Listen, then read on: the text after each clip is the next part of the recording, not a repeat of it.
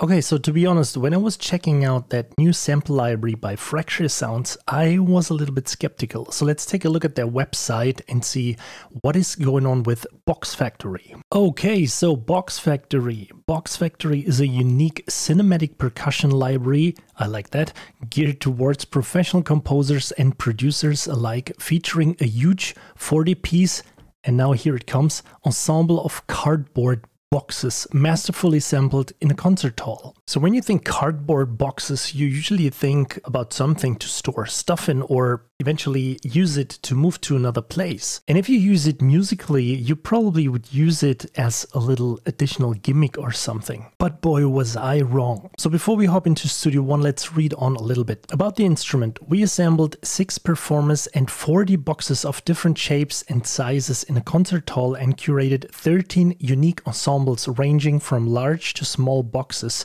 with a range of stick types and performance techniques. So of course you're curious how this thing sounds. You can go through the website by yourself. You have some really cool audio demos.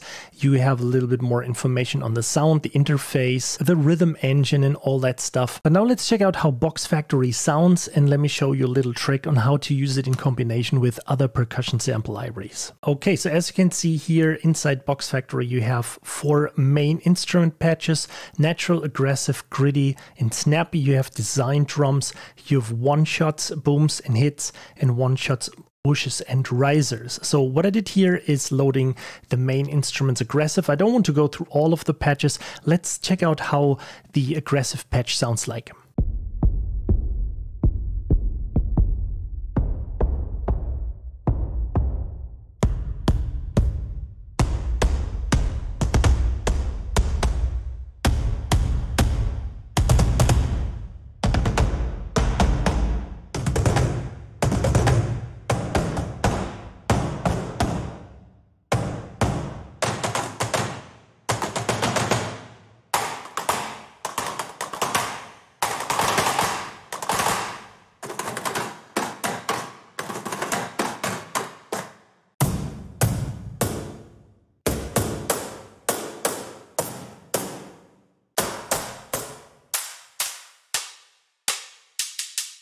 So this is what I was talking about in the beginning. If somebody would have told me that these are cardboard boxes, I probably wouldn't believe that person. Or in the other way around, would I have been skeptical at all if Nobody would have told me that these are cardboard boxes. So let's get into a little loop that I've created with this sample library. And uh, again, if you want to get into the full details of how all these different mic settings sound like, the punch, uh, saturation, squash and everything, Will Bedford did some two excellent videos on the website. So make sure to check that out. And now let me play you that little loop that I've created here. So I didn't use more than just four instruments. I've used these low hits here. Then I've used this patch and this one and it sounds like this. Also there is no processing going on besides a little bit of limiter to not, you know, clip the master bus.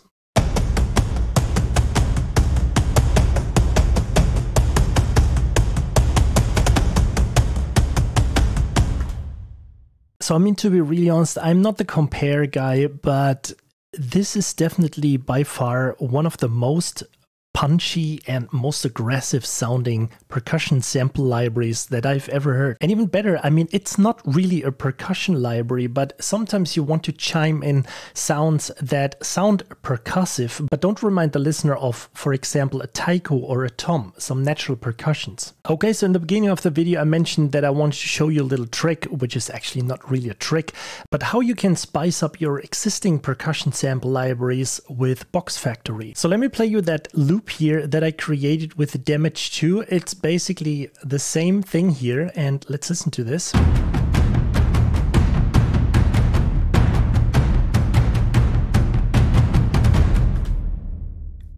Okay, some cool natural sounding drums, but now let's spice that up with Box Factory.